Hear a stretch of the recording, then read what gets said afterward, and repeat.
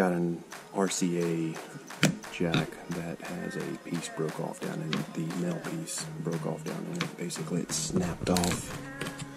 My little boy uh, stepped on it and broke that male piece off. And I gotta figure out how to get it out. So I saw something on the YouTubes that I want to check out. Basically, a person used a nail and then like uh, kind of hooked the end a little bit so that the nail is nice and straight right now. Basically, they hooked it in a little bit. I think this will work for it.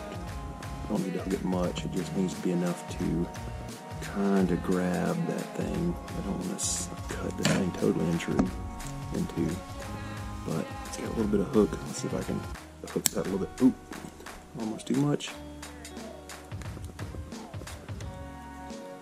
It's got a little bit of a barb on it now, right here.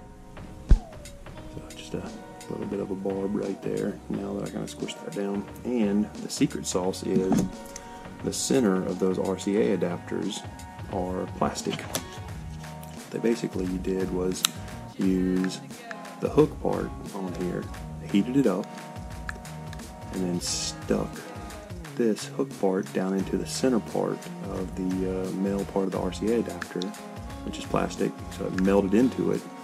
You leave it sitting there for a few seconds, and then once the plastic melts back around it, you got that little hook part holding onto it, and uh, you can pull it right out, supposedly.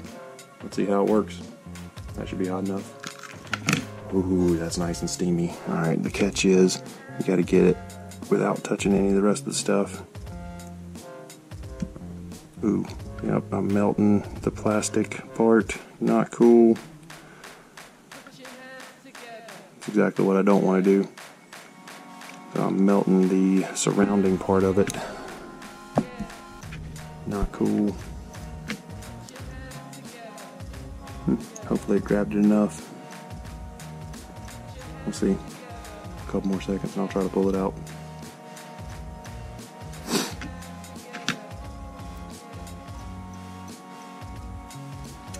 Patience while the plastic cools. Let's get a little more light just in case we need that. Is that too much light? Never too much light. Let's try this jump. What the heck? Look how awesome that worked. That worked way better than I expected.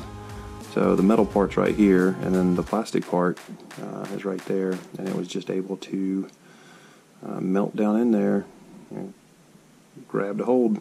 That's impressive. YouTube solved that problem for me.